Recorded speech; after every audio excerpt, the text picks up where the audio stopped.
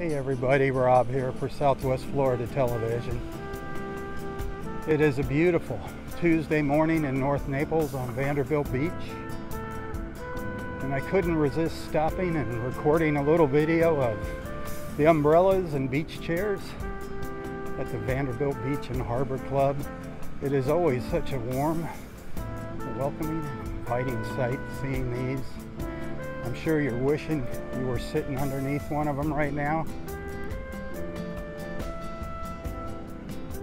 It's beautiful out here. The skies are starting to clear. It was real cloudy earlier this morning. Now it's really starting to look good, getting a lot of blue skies. Still some clouds up to the north, a few more clouds up to the more north, the north. But it is Overall, it is spectacular. The water temperature, 76. Tide on its way in. Get you down by that water. Air temperature, oh, about 70, 68 to 70. Look at all those chairs and umbrellas waiting for you. Beautiful day in paradise, a beautiful morning in paradise, my friends. I wish you were here. Looking at 84 for a high today.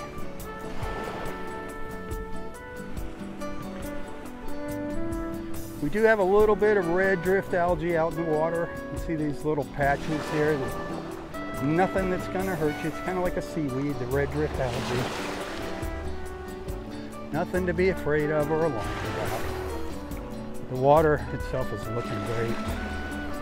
Really starting to clear up, calm. The La Playa Beach Resort off in the distance, that tall, skinny building sticking up. Look at that sky. Clouds are really starting to thin out. Beautiful, beautiful, beautiful.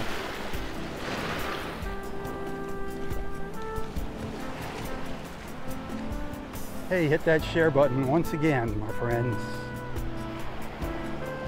Share the beauty, spread the love. The beach in North Naples, Florida. Thanks for watching. Tally ho, my friends, tally ho. For Southwest Florida Television, I'm Robb Stan. May God bless you, your family, your friends, your fur babies, everything and everyone in your life. And God bless our wonderful country. God bless America. Tally ho. Tally ho.